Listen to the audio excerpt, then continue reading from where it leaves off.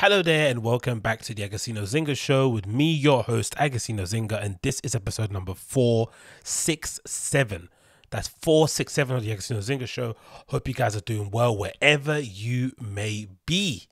It's been a while, and it? It's been a bloody while. Hope you're well wherever this may find you on this nice sunny afternoon. And if I mean afternoon, I mean evening. For me, evening, I mean morning. It doesn't really matter. I'm not going to date this. So, however you're feeling, wherever you are, I hope you're good. Of course, if you're watching this via YouTube, you know what to do. Smash that like, hit subscribe, leave a comment down below. If you listen via the podcast app, I really appreciate a five star review and a share to help spread the show and get it all out to all the important places that it needs to be. And of course, support via Patreon to access all my bonus shows are always welcome too. You can support Patreon for as little as $1 per month on my Patreon to get access to all my bonus content at patreon.com forward slash Agostinho. That's patreon.com forward slash A G O S T I N H O to get access to all of that malarkey. So make sure you jump on there and don't delay. Man, look at myself in this camera. Like my hair is a mess in it. I need a haircut badly. You know what I mean? Badly. Um, if ever, if anybody needs a trim, it is I. But again, I just can't be bothered to go and get a look. Look at my edges. Look at that. I've got so much hair you can't even see where my hairline begins or ends in it. Absolute madness. But anyway, regardless, here I am. Hopefully you guys are well and you've been well hydrated and well rested. It's been a bit of a topsy turvy couple of days here, or couple of yeah, couple of days, maybe a week or so here in the UK. Obviously with the you know announcements of the delays and the lifting of the restrictions and all that jazz. And the weather's just been absolutely beating our asses you know. Here in the uk we're not really we're not designed as a country to really handle hot weather like this especially when there's no breeze. We don't really have shops that sell good chill drinks. Most of our transport lines with the exception of maybe the overground doesn't really have air conditioning most shops don't have air conditioning let alone the, the transport lines. So you're essentially just stranded outside trying to get you know any kind of shade that you can in order to make sure that you don't melt like a candle out there. So it's a bit peak. It's a bit peak i'm not going to lie. But you know we keep on striving. We put one foot in front of the other and we just keep trucking on. We just keep trucking on. Anyway i got a jam-packed show for you today. Loads of topics to get through. So let's just jump right on in. Grab yourself a little drink. Grab yourself a little munchie i've got myself a little water here infused with a little lemon so enjoy that and let's get on in Ah, That tastes good. That tastes good. So, first things first. As you're all aware, we were meant to lift all the restrictions or most of the restrictions. Actually, yeah, that was the last restriction actually. Um, in a couple of weeks or maybe next week actually on the 21st and unfortunately that's now been pushed back to the 19th because of the new indian variant and all this other jazz that they're sort of kind of you know beating us down with and again, I would be lying if I'm saying I didn't expect it. I kind of was in the back of my head, as much as I was trying to be optimistic about the return of being able to go back on the dance floor and return to nightlife, go out in nightclubs and all that jazz. I really was thinking in the back of my head, like, you know what?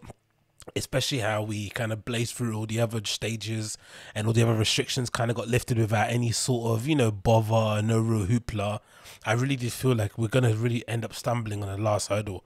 And when everyone was talking about the indian variant and then the media and the press and the journalists went into a bit of a you know scaremongering kind of overdrive whenever you see journalists you know writing op-eds about a variant and getting really scared about anything it's always a sign that they're kind of either being fed by government officials to leak stuff or they're purposely trying to set a narrative. And when that narrative was set, it was very difficult to get to a common sense approach of like, no, let's just analyze what's going on. How many people does this variant actually affect? Does the vaccine still work against it? You know, all these sort of things weren't really looked at. It was more so, okay, let's just panic because there's new variants come out. We don't want to risk any more lives being lost, obviously. And because of, in my humble opinion, you know, I'm not really into politics, but regarding how terribly we dealt with COVID, you know, the first half of the year or the first no, right? The first half of the year or first half of the year. First half was the end of the last year. It feels like the government are going, you know, are being extra cautious in an effort to kind of distance themselves from any kind of blame, which is really sad because you'd imagine that they'll try to do what's best for the country, regardless of if it makes them look bad or it makes them look good, you know, regardless if it makes them look bad.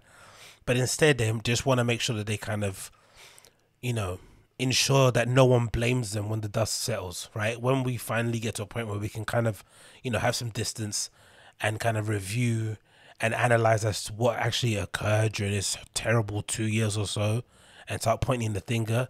They don't want to be the, at the end of it, right? They want to be as kind of blame free as possible.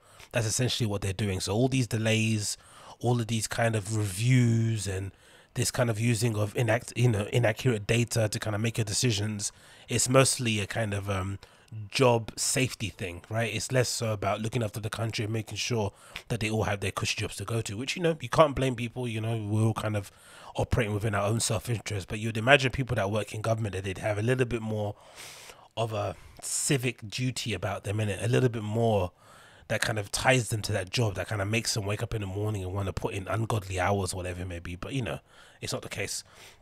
So this is courtesy of BBC News. It says Lockdown easing in England delayed until the 19th of July. 19th. It says here the final stage of easing lockdown restrictions is eased the 9th of July. It means that most remaining curbs on social contact will continue beyond June 21st when they had been due to be lifted. So my big plan of heading up into Egg and finding myself a dark corner and unloading a bag of kit directly into my nostrils is going to have to wait a few more weeks, specifically four more weeks before I can do that. And who knows, by four more weeks, I might be completely bored. I might have moved on for ketamine. I might be like, you know what, I'm just going to drink a flipping, you know, a monster energy, energy drink. And I'm going to spike that with maybe a couple of other bits and bobs. Who knows? Oh, so annoying, man. I guess my ket dreams are going to have to wait for another time. It says here the limit on the guest um, will be removed, but venues will still have to adhere to the other rules. Prime Minister Boris Johnson said that there would be a review after two weeks, and he was confident that the delay would not need longer than four. So there's a review after two. They can change things, but for the most part, they are kind of briefing everybody that it's definitely going to be the four weeks that they've kind of specified. The two is basically you know optimistic. However, he told Downing Street press conference that he would not rule out the possibility of the date to be pushed back further. Of course, I have to say that just to kind of cover their bases. I wouldn't be too angry or too triggered by that sort of thing, so relax. It says here, scientists advising the government had warned of the significant resurgence in people needing hospital treatment for COVID 19 if stage four of the easing of lockdown went ahead on June 21st. It comes amid rising cases driven by the more transmissible Delta variant, which was first identified in India. The Indian thing is so triggering when you think about the amount of days that it took for India to be placed on a red list, even though the neighboring countries, which were highly, you know, which probably had as high numbers, if not close to what India was currently at at that time, were on the red or amber list before India was. It's just like the closing of the borders thing has been such an interesting and bizarre thing to watch from afar, isn't it? You just you would imagine with a conservative government, the one thing that they'd want to do would be to somehow, you know, solidify the borders, close the borders, prevent immigrants from I don't know whatever, all that kind of nonsense that they kind of go on about. You would imagine they'd use COVID as a best excuse for them to kind of, you know, enact some of those changes, but they didn't want to do it. They were really hesitant to kind of you know, close the borders, very hesitant to do all the little kind of um what are they called? The quarantine hotel things. All the things that kind of would have helped us, all the things that kind of seemed inconsequential, that they seemed insignificant at the time, would have definitely added to us combating the virus right now. We would have been in a far better place in terms of the systems and the processes set in play and just the general habits of the, you know, passengers and stuff. Because I've heard of people that were returning I've heard stories of people that are returning from to UK airports having visited like a let's say an amber country and still coming in contact with somebody that come from a red country. There was no separation when they got to the airport, just like a free for all. So it kind of removed the whole you know point of having the red and amber list in the first place, right?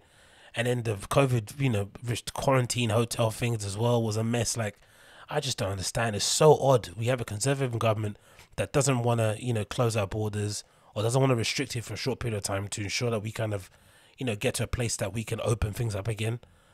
And now we're in a position where we're having to delay things more. You know, uh, whole industries are being shaken to their core. People's jobs are fundamentally at risk, I think, at this point, because like the other times that lockdowns or lifting of restrictions got kind of delayed, what ends up happening is that what was it called? It's like a supply chain, right? If you're owning a bar or whatever, so you have to order stuff way ahead in time, way ahead of time, you have to kind of set things in motion in, in in the hope that they arrive at a set time so that you can get it stocked up in your bar and then ready to open up or your club whatever. So now that we're in this position what all those deliveries that are due to come in are going to be sitting around for another month which might mean another month of what? Wastage of stuff that you probably didn't have money to pay for in the first place.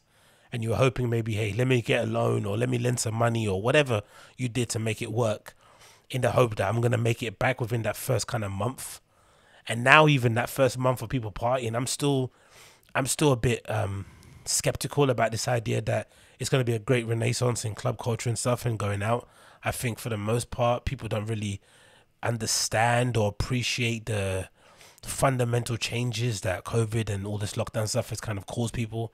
People have changed where they live, they've changed professions, they've changed relationships, right? That it's been a whole complete 360 and or a whole complete kind of, you know, root and stem analysis of your life completely. People have done during this whole entire time. And if you haven't, you've probably wasted the opportunity to do so, right? Because this is the perfect time to do it because everyone's life's been basically put on hold. And I think a lot of people who are kind of, you know, maybe a the passing interest kind of person about going to clubs have maybe turned off it and decided to do other things with their time. And even if that isn't the case, I still think there might be a good, let's say, two to three weeks of people going out week after week after week, getting absolutely plastered. And like I said, I'm, uh, you know, finding dark corners in clubs to sniff whatever they want. I'm sure that will happen. But then after the fact, I think there's going to be a real kind of leveling off, and there's going to be a lot of places pretty empty. So a lot of the kind of revenue generating opportunities for these clubs are usually going to be, I think, around the first maybe two weeks after it's opened, right after the restrictions have been lifted. So this delay, it just kind of adds to the kind of malaise that people are having. With like, you know what, I've got these other hobbies now that are filling my time.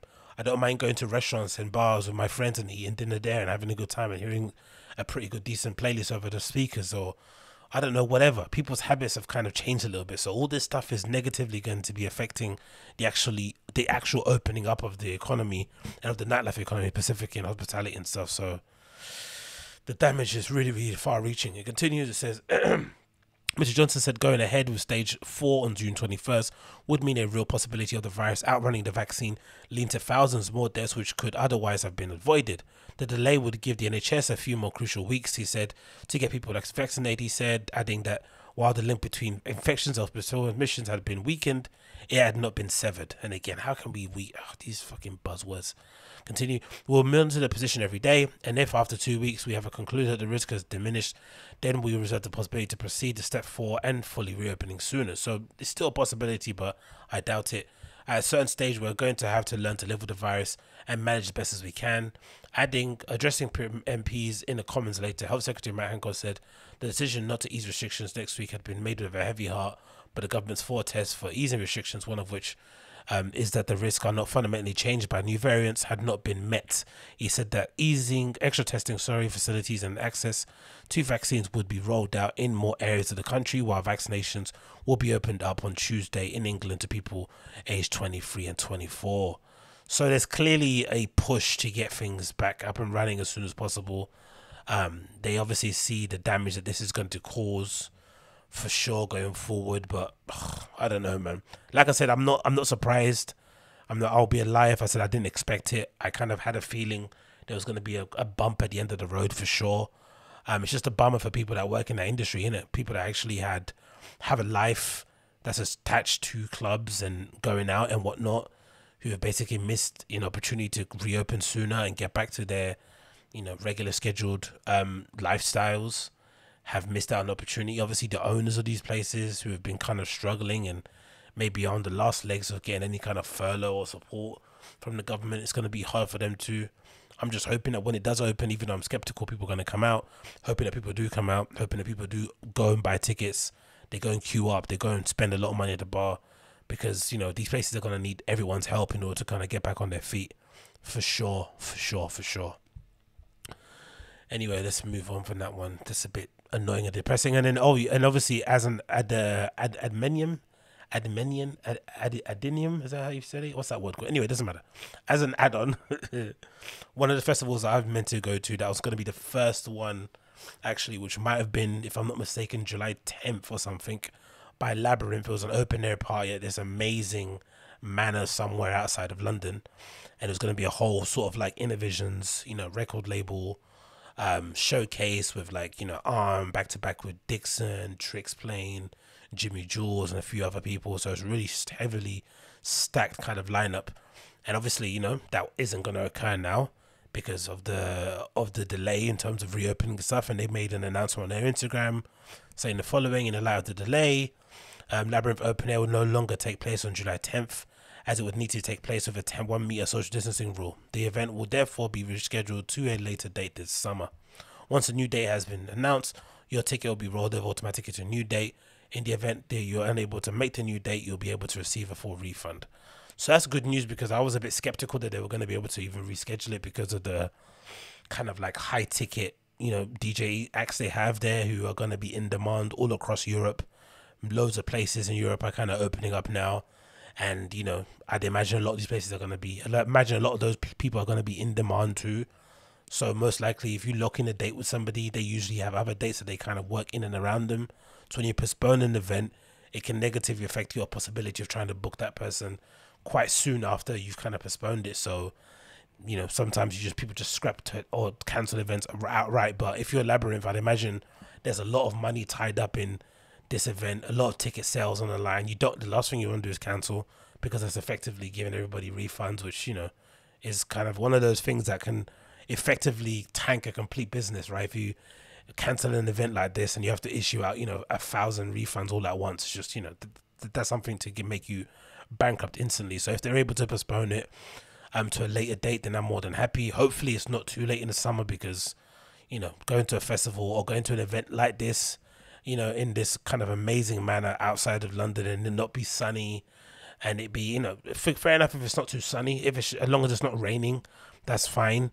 But if it's kind of raining and muddy and stuff, and you know you're tearing up and you're damaging all the grounds, and it's just not the best of fun experience. You kind of want it to be a little bit more, you know, summery and magical in that respect. And hopefully they're able to kind of do it on a similar kind of timeline. I know there's a second event they have with Cause that's meant to be on August. I think entirely different lineup. They've kind of booked two sort of dates on there in the, on that um venue. So you're hoping that it's not too late. But, you know, I guess if they're able to do it anytime this year, I'm more than happy to hold on to my ticket and go to that one. Um, and then, of course, to make matters even worse, if you, if that wasn't you know any more depressing, for some reason, even though we've been ahead in vaccinations from the rest of Europe, which is weird, isn't it? Right? Because if you think about it, last year we're in a far we're in a far more bleak position and the rest of Europe seemed to have been okay. I remember there being a lot of parties and stuff happening in Berlin and stuff. You saw a lot of people going to open their things. That was a kind of a situation. Then all of a sudden it flipped, and all the parts of Europe that were doing well, the Spains, the Italies that were kind of get back on their feet, the Frances, they suddenly got hit again. And then somehow we ended up doing okay with the vaccine rollout. And then suddenly, you know, we're back to a level where we thought we were kind of going to get over the last hump with the latest restrictions being lifted on June 21st and then of course it gets delayed. And then now, look at this news from courtesy of Resident Advisor. It says Berlin clubbing restrictions to loosen on Friday from June 18th. Outdoor dance events of up to 250 people will be allowed. So just when we thought we were about to kind of, you know, get over the last hurdle, um, somehow out of the blue, Berlin or Germany overall has kind of slowly but surely, with their different regions and states, the region states, whatever they're called, have you know decided to slowly but surely open different parts of the economy up. Mostly, you know, of course, pertaining to myself, my interests, mostly in clubbing and nightlife and stuff. They've decided to do different sort of things in the different kind of principalities. I think they're called. Whereas we are just hoping and waiting that July 19th happens. It's just a mad time to be alive in it. So it says here the following um, Berlin clubbing restrictions are set loose on Friday from June 18th. Outdoor dance events up to 250 people will be allowed so long as party goers are able to present a recent negative COVID 19 vaccine test wear FP, FFP2 mask when not seated. Contact restrictions, however, will still remain. This means up to 10 people from five different households will be able to attend. So I'm just sure what they mean by this. Does it mean if you get so what about if you get a what about if you're already vaccinated? Do you still have to get a test to prove that you're negative? That would be a bit annoying, in it, right? The whole idea of getting the vaccine would be that you have on record that you're vaccinated. You don't need to keep getting tested all the time to prove that you're negative kind of defeats the purpose, you would imagine. Um, why not just, you know, not get vaccinated and keep testing yourself? I guess obviously you run a risk of obviously getting the virus, but I don't know. Who knows? It continues here over in the neighboring um, Brandenburg outdoor dance events of up to 1,000 people are now allowed without restrictions. That's amazing, isn't it? the federal state's prime minister, okay, they're called states in Germany, the federal state's prime minister, Dietmar Woiduk, is that Woiduk or Wooduk, um, announced the decision at a cabinet meeting yesterday, June 15th. Um, indoor events will require a mask and additional testing and no more than one guest per 10 square meters. So if you want to dance indoors, you have to do that weird thing where you stand in hula hoops. Remember when, you know, all Nina Kraviz and them a lot were doing those play graves in flipping uh, somewhere in the Middle East and they had to do those weird things where they were standing in the desert in hula hoops. So either you do that on the inside or you stand outside with a thousand people just getting off your face and just having a mask on, right? That's the, that is a pretty easy decision to make, I think. Says here Berlin authorities have also decided to relax a number of other rules, including mask wearing in busy outdoor areas and the lifting of midnight to 5 a.m. alcohol ban in pubs and restaurants. Um, check the full Berlin Zeitung. Zeitung, have you heard that? Zeitung. As of Wednesday, June 16th, Berlin's had seven day infection rate. You know, but, but that's interesting, isn't it? They had a ban on alcohol. It's like mad to think, innit? As much as we're complaining here in the UK, parts of France, or maybe, yeah, parts of France still had um, curfews. I think the entirety of France was still living operating under a curfew, and then places in Germany were preventing people from buying alcohol from midnight to five a.m. And if you know anything about Berlin, you'd know that you know the best time to go and buy alcohol is any time between five midnight and five a.m. So this is a pretty gnarly development, all things considered. But again, man, what a weird twist, twisting kind of fate. Somehow we have somehow Berlin has kind of overtaken us in terms of reopening their economy, and here we are just twiddling our thumbs still.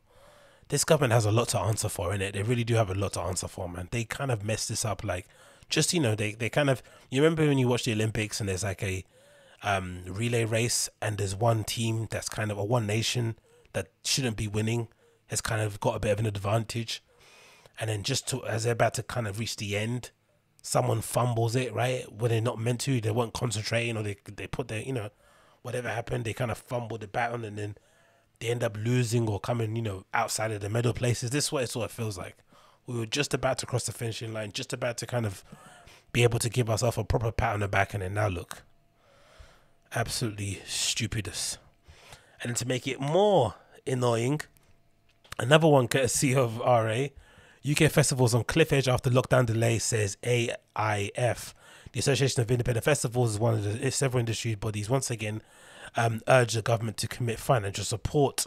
In the past 48 hours, multiple industry bodies, including the Association of Independent Festivals, have once again urged the government to commit to financial support packages, primarily in terms of insurance scheme to protect up and coming festivals against COVID 19 cancellations.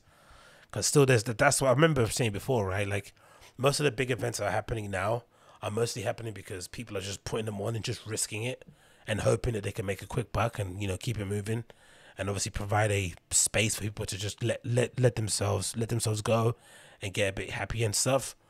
But all the bigger bigger festivals that are meant to be going on, they're getting cancelled or being postponed because essentially they just can't take that risk. The insurance obviously isn't being approved, and if they something does happen as an outbreak, they're going to be entirely liable. And you know, no one wants those court cases on their backs.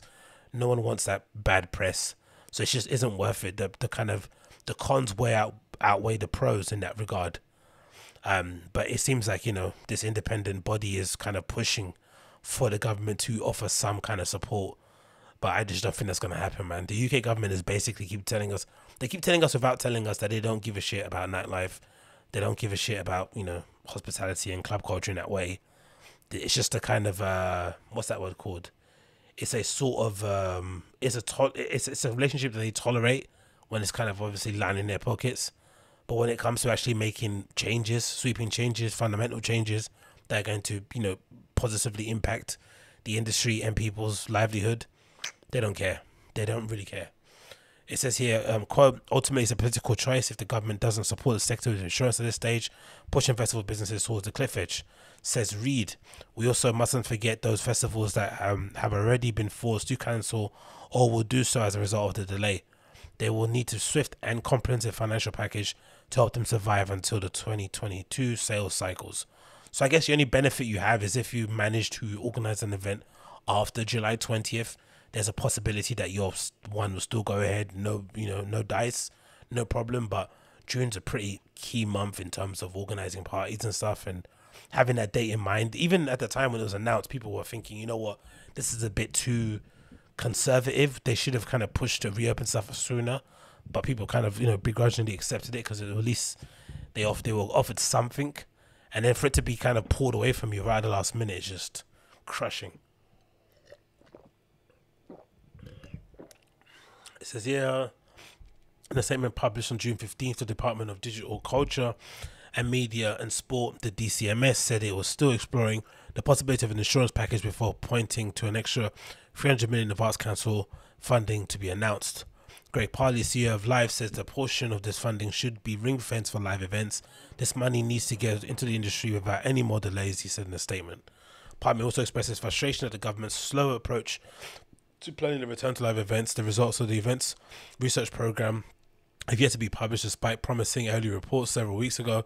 The next pilot event, which will see 10,000 people attend, Download Festival, is taking place this weekend. And then that's taking place, I think, the, uh, what's the other pilot event? I think the other one might be the Euro finals as well or something. It continues here. The government has been quick to talk up the success of the vaccine rollout, but other countries are now ahead of us in putting full capacity events exactly with simple COVID 19 certification processes, including the Netherlands, Belgium, and the US. Without emergency funding, the festival industry will see many more cancellations, as many as 5,000 according to Independent. We Are the Fair, a large scale event and festival production company based in London, has so far had four events affected by the delay. These outdoor shows will either be cancelled or postponed. At this point, We Are Fair's director, Yasmin Gallet, isn't even sure how helpful insurance will be if and when it does arrive. She says, I believe that there will be prob- there will be prohibitive prohab prohibitively expensive. That's what it's called. Prohibitively expensive. A cut insurance policy could cripple the organizers already lacing, already facing, sorry, facing uh, price spikes in other areas such as supply infrastructure, shortages of toilets, cabins. Yeah, exactly. All this stuff people don't think about, man, when you're organizing events.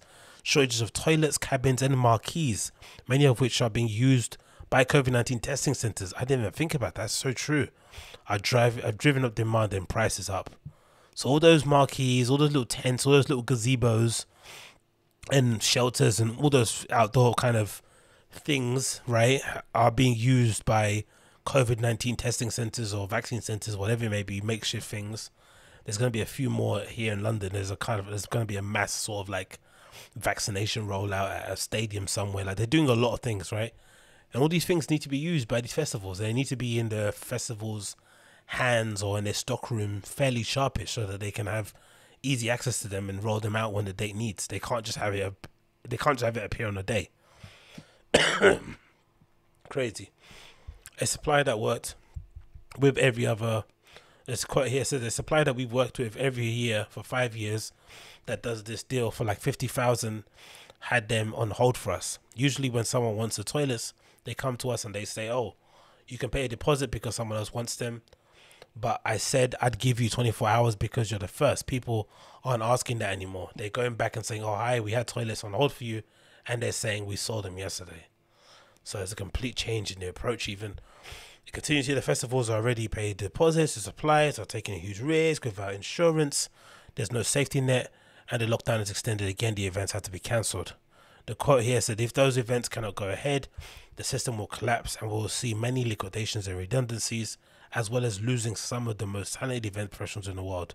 Nick Morgan, CEO of We Are the Fair, wrote a piece in LinkedIn. The industry is on a knife edge yet again, he added. We are still not open and uncertainty is again rife. Yeah, man, it's an absolute shit show of a situation, really, and it? it really is a shit show of a situation. You're really hoping for the best, but the way with these guys are going on, man, it's not optimistic. It really, really isn't. Let me take a pump, actually, before I continue.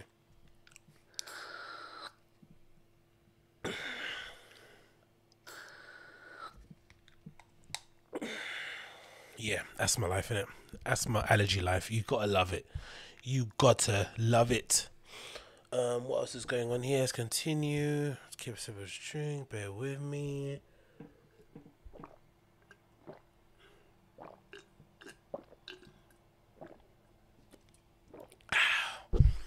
Oh god, sorry about that. It was parched. It's always heat, mate. You just want to drink loads and loads of liquids. so it continues, continues. Another one here. It says here, Dekmantel announces full lineup for the 2021 Festival 2. Another big festivals announcing um, their dates going forward. Another country in the Netherlands that's kind of finally going to reopen and allow people to dance and rave before we do. Oh yeah, yeah. Because then again, we were ahead of them too in vaccinations, and somehow these European countries have finally figured it out at the last hurdle, and they're now slowly but surely allowing their you know industries to slowly but surely get up and running again. So this is the following here. Dekmantel has released its full 2021 program for its flagship festival in the Netherlands, going ahead this year at the usual spot, as usual spot of the Het Amsterdamse Bos Dekmantel 2021 looks to set to return without restrictions following an announcement that the festivals can take place in the country from June 30th. So right on the spot in it, right? Madness. Running for the August the 4th year, right? Tight, tight, tight, tight deadlines because I imagine they're probably waiting until the last moment to get all the kind of necessary stock that they need to make it work. So very, very tight deadlines, June to August, mate. Not a lot of time to get that up and running, but credit to them. Running from August the 4th to August the 8th this year. The festival can take place after a steep decline in infections rates across the Netherlands, 1,000 new cases. So, how come they didn't get affected by the Indian variant? And we did. Did, did the Indian variant kind of skip over the um, Holland before it reached us or something? I hate this country sometimes.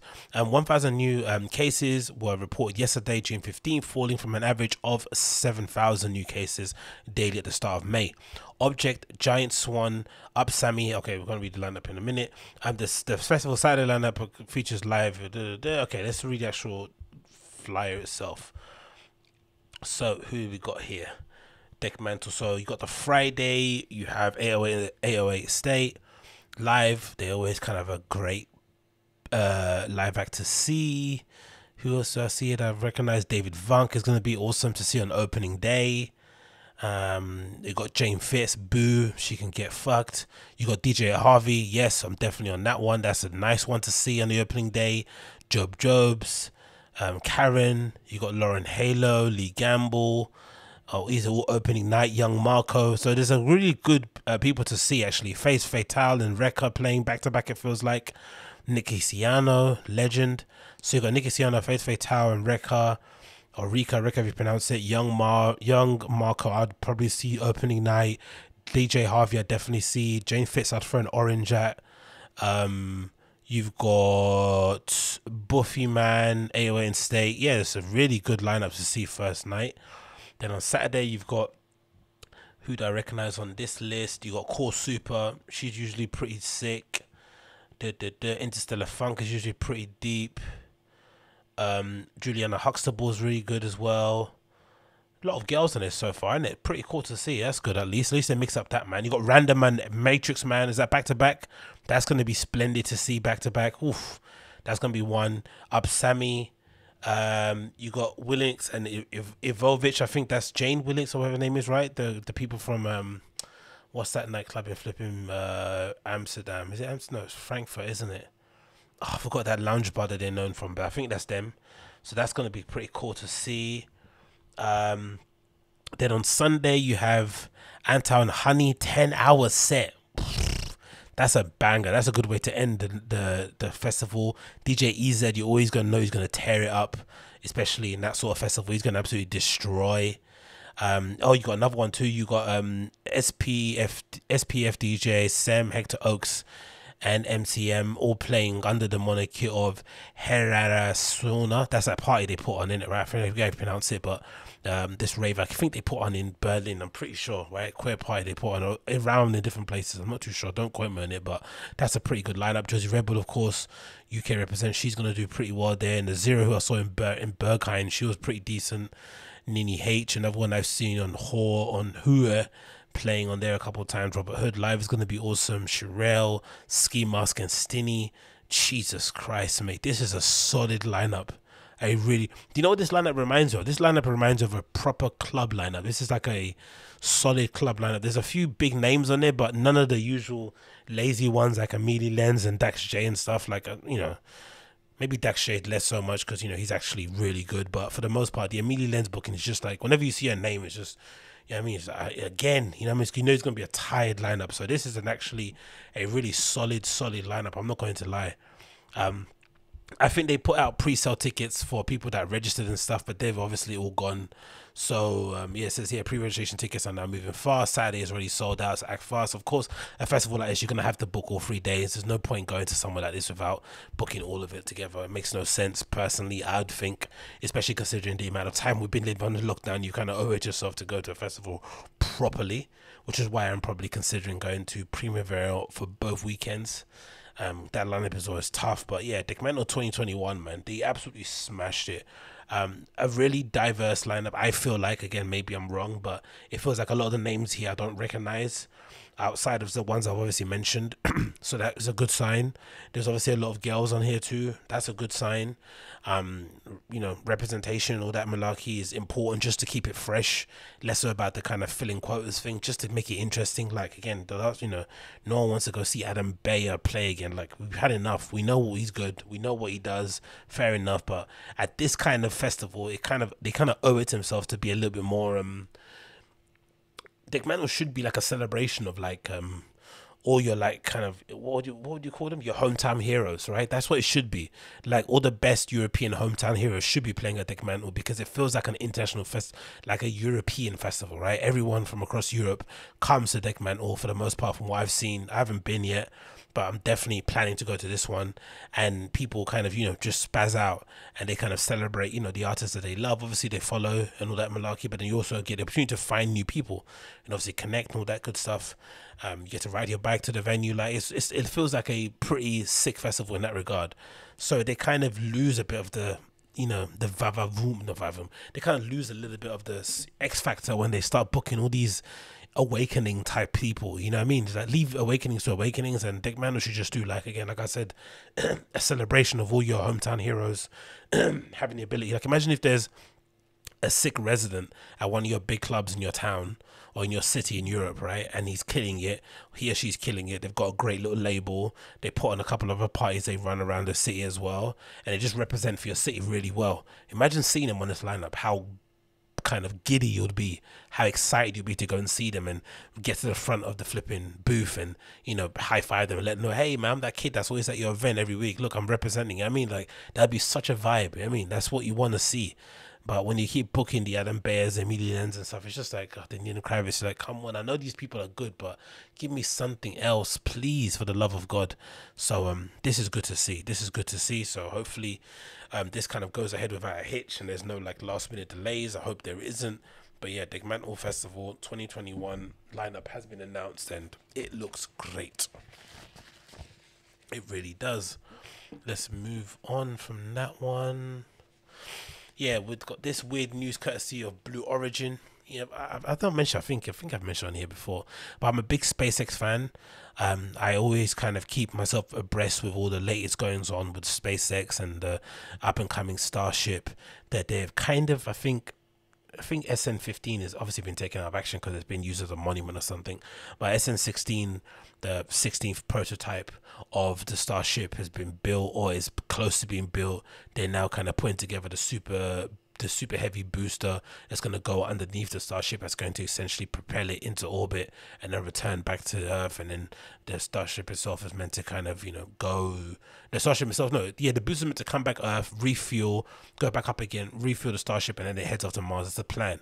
But obviously for the test flight i think the super heavy and the and the starship is meant to go up and then the booster's meant to come back and then the starship's meant to go do like basically a whole rotation of the earth and then land somewhere in the atlantic ocean i'm pretty sure just to kind of test and make sure it works and everything. So you know it's pretty amazing to see how fast they're able to iterate the different designs and get things up and running and see what works see what doesn't work. And we see it all in real time right? We got all these amazing channels on youtube. We just type in spacex starship and you'll find loads of kind of um you know nasa space flight and weird malarkey people who are kind of you know um space nerd enthusiast kind of type people who are essentially just following the progress of all these um, or SpaceX specifically from afar using drones and people driving past the plant because they don't block anything. That basically they could if they wanted to kind of throw up nets and protect it so you couldn't take pictures but it seems that for the most part they just tell you to keep off their grounds don't get too close and you just take as many pictures as you want and they're kind of making it open source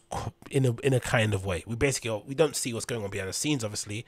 We just see the constructions right? Um the big construction because you can't hide that anywhere but it's just awesome to see and obviously the other competing um, independent uh, space manufacturer or spacecraft manufacturer at the moment is Blue Origin. That's helmed by Jeff Bezos, the now what former CEO or former yes former CEO of Amazon, obviously founder of Amazon. And for some reason, some nutcase decided to uh, buy the very first seat for the New Shepard cells for 28 million. So I think the New Shepard's the rocket that they're going to launch up into orbit. And I think the way Blue Origin are doing it is that they have this I think it's a test or whatnot, but essentially the Blue Origin spaceship is meant to just fly up into orbit with its passengers, obviously, so they can see, you know, the sights and whatever it may be.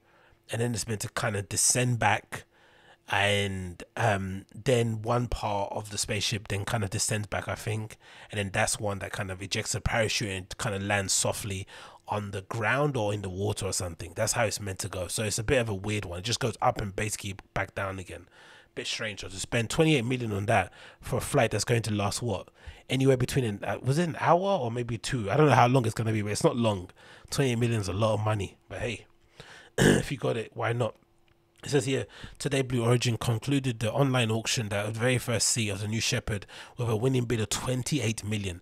Nearly 7,600 people registered to bid from 159 countries. The winning bidder will fly to space on the New Shepard's first human flight on July 20th, so very soon, and will join Blue Origin founder Jeff Bezos and his brother Mark. Mark and Jeff Bezos are going to be on that flight too. So maybe if you're wanting to do a pitch, like an elevator pitch or something, you want a night, uh, uh, um, expert opinions or advice on your business whatever. Maybe investing 28 million just to get the ear or to be around these guys is maybe worth it. I don't know if it is but i don't know if 28 million buys you a jeff bezos friendship. Maybe it does. He kind of you know you're going to continually have his ear.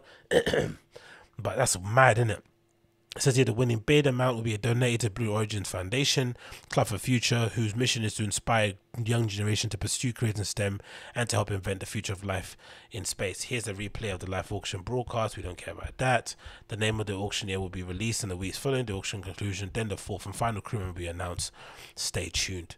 Imagine who's got 28 million in their back pocket just to drop on a seat to go see the, you know, to see the Earth from however many ma- million of, thousands of miles it is.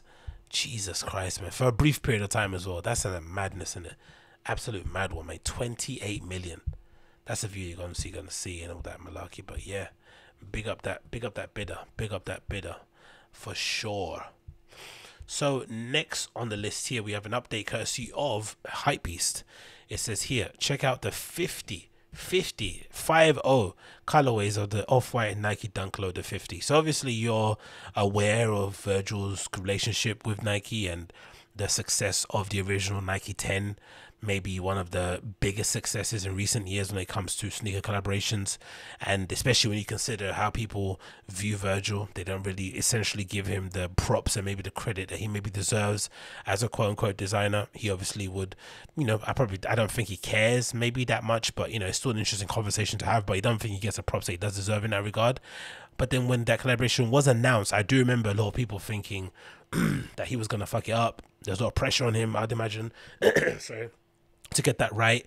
And out of kind of nowhere or surprisingly to a lot of people especially because you know even though virgil's a supremely creative dude he never really struck me as a sneakerhead for the most part. Obviously you know you know being part of uh, the whole original kanye west crew um, with don c and those guys they were kind of instrumental in kind of you know rebirthing or reigniting the love for look, kind of Jordan retros and stuff and the work that they were doing at Louis Vuitton at the time. Like, you know, it was a whole different era, but he never really struck me as a sneakerhead still. He was mostly a creative dude who had really good ideas, but to be able to design great sneakers, especially collaboration wise, you, you maybe have to have I won't say an understanding of or an appreciation of it. I don't say that. You know, I don't know. It doesn't really make sense really because there's a lot of people who don't want really sneakerheads who do sick collaborations. Right? I just think of instantly um, the lady from Sacai. Um, you know, all of her collaborations so far, yes, they've kind of bled her dry. But in terms of the first time you saw their LD double waffle, you know, I mean, it blew your mind, right? That's a legitimately like, you know, without any bias or any kind of fandom, that's a legitimately good trainer. So for Virgil to do the same thing, he kind of took some of the, I won't say spirit, took sort of some of the, the energy that Kanye did with the Yeezys, where he was able to somehow you know, permeate into just current culture and, you know, regular people wear Yeezys and stuff or copies of those type of shoes. I see loads of regular people, quote unquote, wearing the Nike 10 collaborations. It kind of was one of the first big I thought sneaker collaborations that really touched a lot of people in and around streetwear and sneaker head space, whatever it may be called, and also just everyday folk who just wanted something fresh to wear in it. I know that sounds horrible to say fresh, but hey, bear with me. So of course, Nike being Nike, they wanted to go back to the well and just oh my, it's just a hay fever. Sorry about this, just coughing. so obviously, um, Nike being Nike, they went to go back to the well and just keep draining it dry, and they've done so by announcing another collaboration now with the dunks, taking inspiration from the other pair of dunks that Virgil done prior to these, and they've now decided to ramp it up further by doing 50 models, 50 individual models of shoes with the Virgil Abloh off-white moniker stamped somewhere along the side, and some lofty explanation as to why this makes sense. But I think when the images were originally leaked, um, Virgil wasn't too happy about some of the mock-ups. He was like, "Oh, the colorways are horrible. I would never design stuff like that." But then when the actual official images got leaked here, courtesy of Hypebeast, it does look quite similar to some of the mock-ups. Or if you're being fair to him, you would say maybe these colorways, especially with the cords being different contrasting colors, are more appealing than the mock-ups because I think the mock-ups a lot of them kind of took the cord color to be the colors of some of the bits some of the panels on the upper and it kind of messed it up got the wrong way around. But overall they sort of you know fairly monochromatic with obviously the pops in color of being some of the tongues and obviously the um the cabling that goes around the shoe. And then there's two I think really standout colorways in this sort of like a white with a silver swoosh and the black, the kind of opposing sort of black with a silver swoosh colorway going on there. So they were fairly kind of close. Um, so this is courtesy of Hypebeast said since uh, first joining its forces 2017, it feels like ages ago, isn't it? 2017. It feels like yesterday actually. Um, have uh, entirely reshaped the rules of the collaborations, and now they're embarking on the biggest project yet, a 50 pack take on the Dunk Low. Man, do you do you know? I think I think the 40th anniversary of Dunk's meant to come up soon, right? I'm pretty sure, if I'm not mistaken, because the Dunk, think it came out. I'm gonna say the Dunk, I think originally came out 1985. I think so, or 85, 86, 84, one of those times. So that's the case. 40th anniversary of the Dunk is meant to come up soon and they're already rinsing this model, right? It's being bled dry, right? Skateboard collaborations, brands, fucking. It's just un. It's it's nauseating to this point. And again, I still maintain it's one of my kind of least favorite Nike designs overall. I think it's a bit gash, especially when Air Force Ones exist. Nike's just are. I mean, Nike Dunks are a bit redundant, especially nowadays with people with kids going, you know going over and over and beyond to pay for flipping vintage Jordan ones, it just seems a bit Eh, you know dumb to have dunks even exist. I don't see people wearing them. It just feels like they're they're, they're just made for resellers. I, I don't know. I've I've honestly not seen a single person wear any of the recent Nike Dunk collaborations that have sold out everywhere, apart from the skaters that basically were paid to promote them or part of the skate team of the shop or the whatever brand that decided to do a collaboration. I haven't seen anyone in regular life wearing any like what was a recent one that came out? Was it the what the Paul Rodriguez ones, right? Have you seen anybody wear them in, in your day to day life that isn't somebody that skates or is a part of the sneaker head scene and would probably maybe get it for free? I don't think of anybody. So it's just like they're creating these shoes. It's like they're creating these limited edition NFT shoes for people that only want to resell them. They don't really want to enjoy the the shoes in any way, shape, or form. Which you know, again, it's not my place to tell people what to do with their things, but it's just like such a waste, isn't it? You can't be you can't be like Nike and talk about sustainability and then just throw out 50 dunks, right? 50, you know what I mean? And you're hoping that they will sell out. It's just like god damn.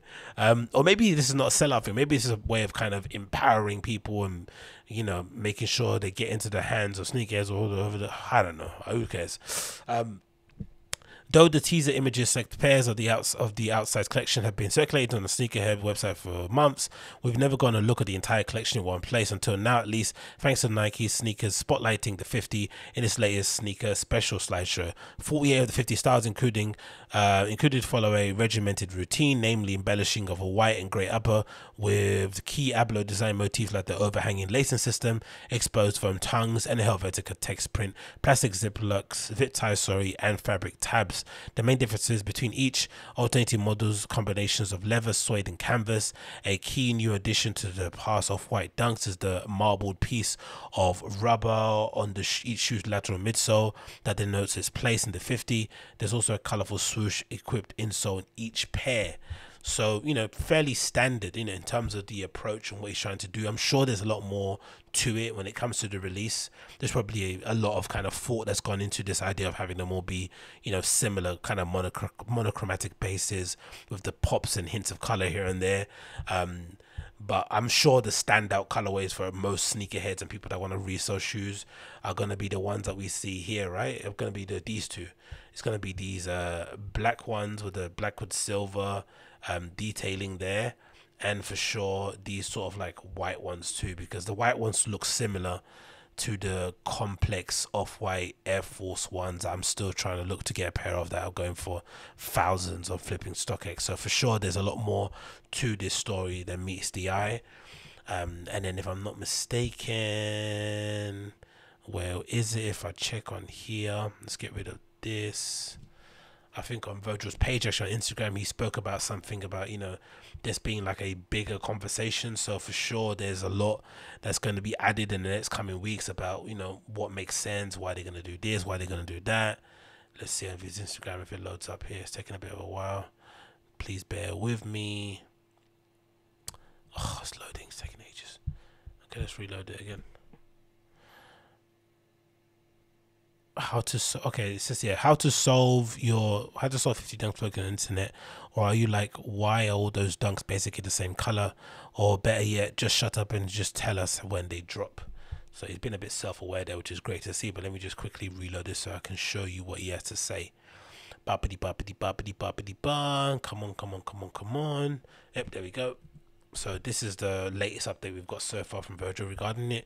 It says here, da, da, da. it says yeah, I know it's confusing. Trust the solution is less painful than the unwanted match lecture, math lecture. Sorry, full idea loading. At least I warned everyone architecture is going left um, from here on out. One day I'm going to do a book of all these manic WhatsApp drawings. So so far we don't really. Uh, also, Jen Park's courtesy of Song Park lecture coming soon. So it's obviously a lecture to tie in with the release of the shoes. Not sure it says here on the board. It says Nike White collab, computing problem probabilities using counting methods. So maybe there was a maybe these colorways were inputted inputted into some sort of computer programming thing and it kind of spout a preordained amount of colorways. Or maybe the idea is to kind of include packs of markers in them so you can color them up the way you want. I don't know. There's definitely more to it than the eye but it's a lot of shoes in it to release.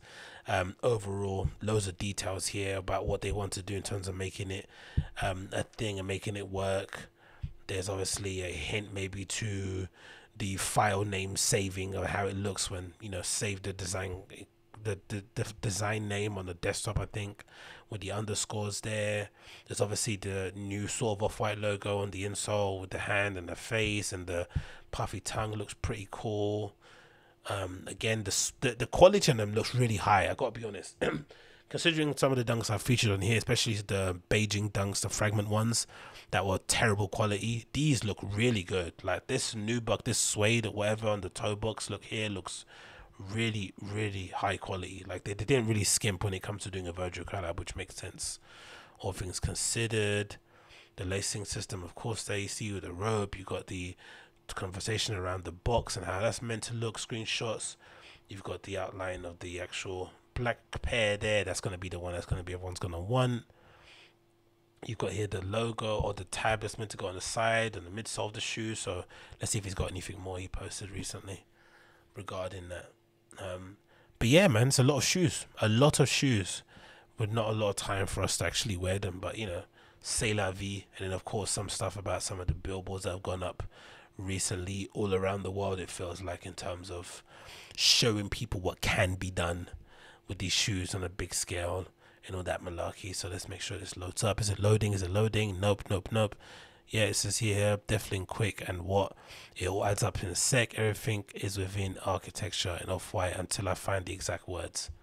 So I don't really know what he's talking about there, but hey, I guess people are going to be excited by it. This is obviously some sort of computer generated, no, a computer or CAD design or maybe Photoshop. I don't know, something on the computer where they've basically put together the colorway itself. So let's see, man. Let's see what going in it.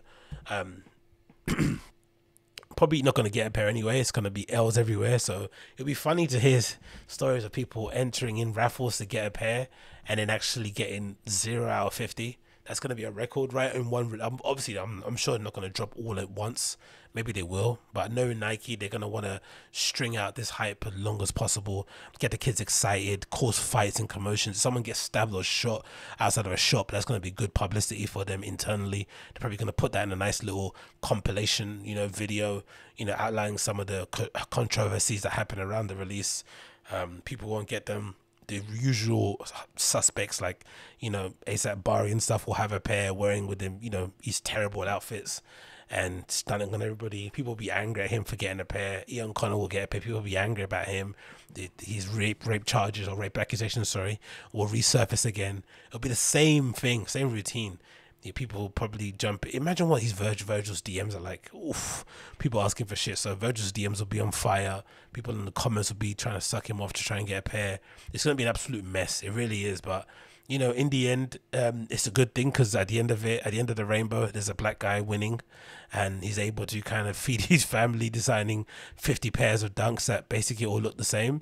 So that's a win in that regard, and it's also a win in terms of just you know the uh, kind of uh, acknowledgement from Nike that he did such a great job the first time around that they're wanting to do everything and anything to make sure they keep him as close as they can to them, so he doesn't go off and do a brand deal with anybody else. Because the last thing Nike need after everything that's gone on with Kanye and stuff, and since then with the other collaborations they've done that have been a bit you know uh, that kind of flattered to deceive, the last thing they need is somebody has the ear and the pockets and the heart the kids as Virgil to go somewhere else. They don't want that. They don't want Virgil to end up at Nike. They want Virgil to end up at Adidas, to end up at Puma or whatever else. You know I mean, they want him to stay at Nike and you know make sure that they're able to pump out um, crappy shoes to kids and sell them to them effectively.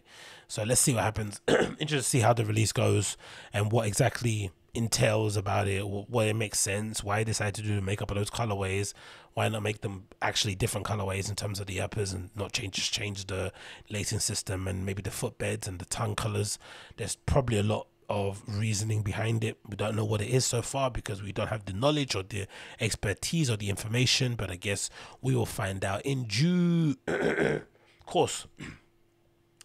cool. Sorry about that. The hay fever is kicking my ass kicking my ass. It really is. So this is courtesy of Hypebeast says a Maison Maison Margiela Reebok Classics leather Tabi high.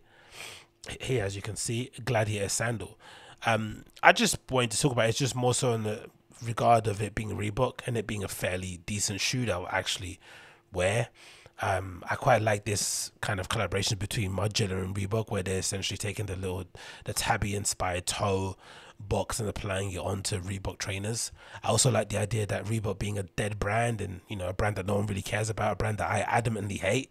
Um, because of just where I grew up and the connotations that it has in the in the ends where I'm from. If you know, you know.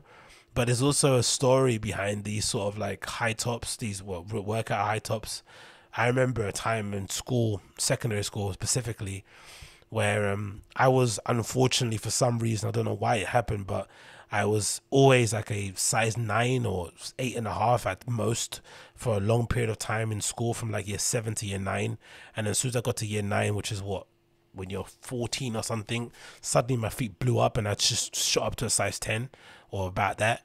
And it was just so hard to take at the time, right? And I got weird feet where my feet are wide or fat, as some people would like to say, uh, but they're short in length So that would mean some trainers you'd need to maybe size up to get the width right or whatever. So I would end up sometimes with like, and imagine when you're when you're a kid, I don't know why it is, but sometimes you end up wearing shoes two sizes too big just because you want a pair of shoes. And that's why actually, I know why. Usually it's because you go to the shop with no money, you go with your parents' money, wherever it is, or they take you there to get to get something for yourself.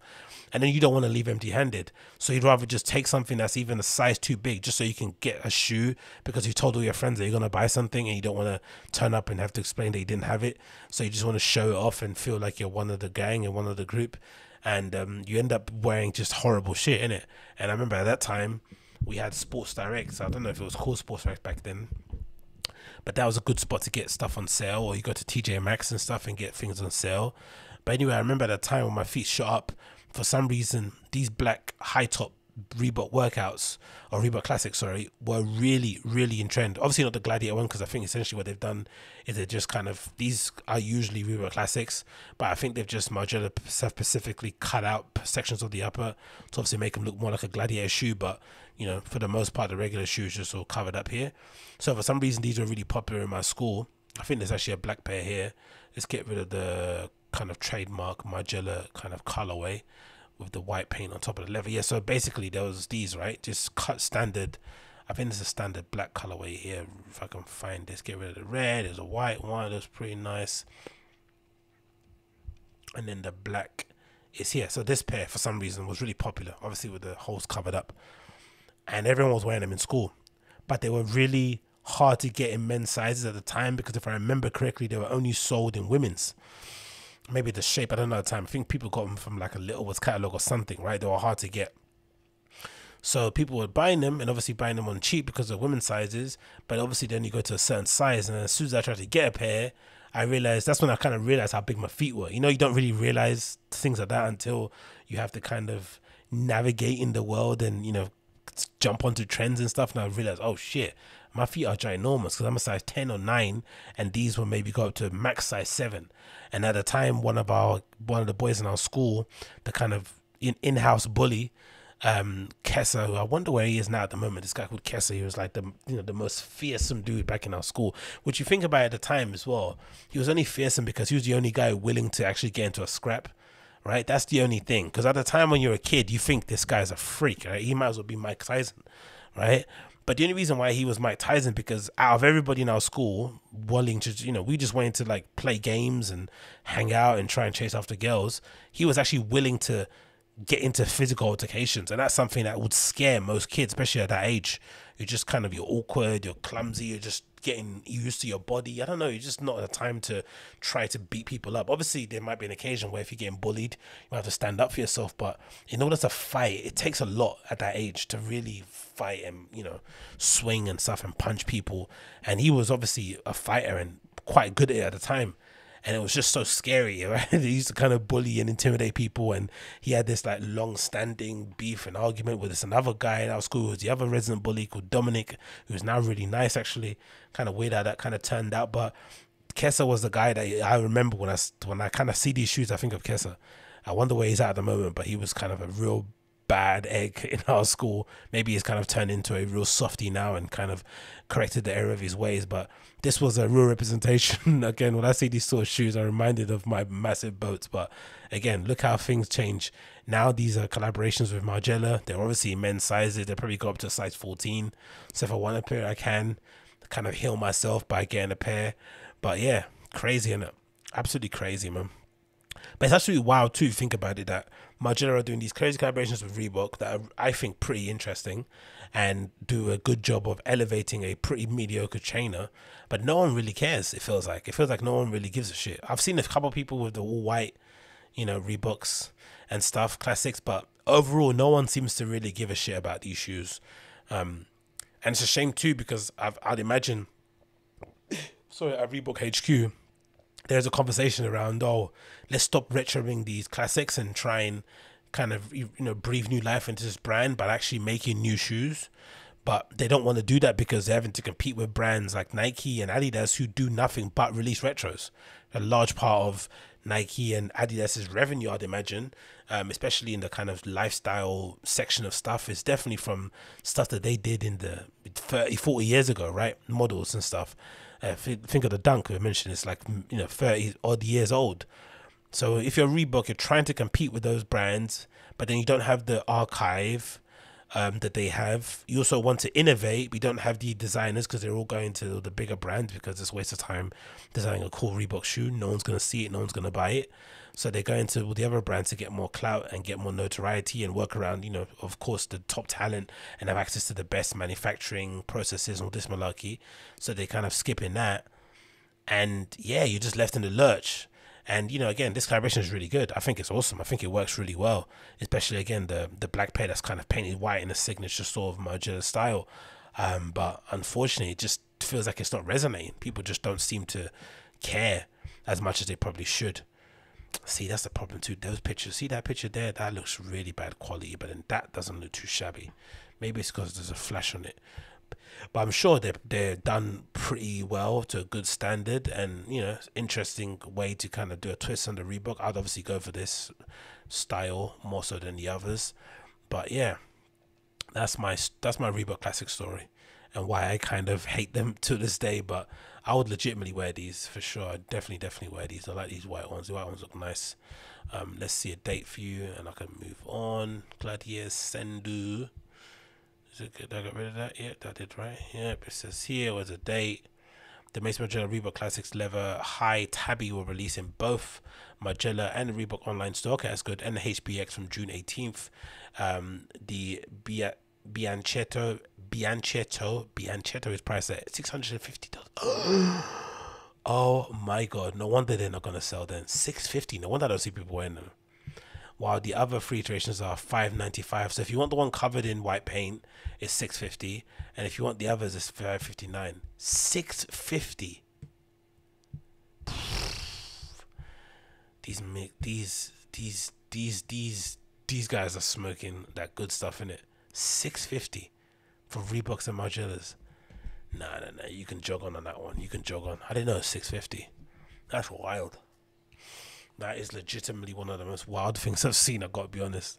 Six fifty. What can you say? What can you say? Um, I think that might be it. You know, yeah, I think that might be it. Let's jump on. Okay, it's already an hour in already. In So yeah, let's jump. Let's leave it for now and then I'll kind of do the rest of topics on the other episode. Actually, save a little bit of topics for the other one. So yeah, thanks so much for tuning in guys again. Excellent English episode number four six seven. If first time tuning in the show, make sure you smash that like button, hit subscribe, leave me a comment down below, and if of course you're listening via the podcasting apps and stuff, share it and all that good stuff. That'll be much appreciated. And I'll see you guys again very very soon. Take care. Peace.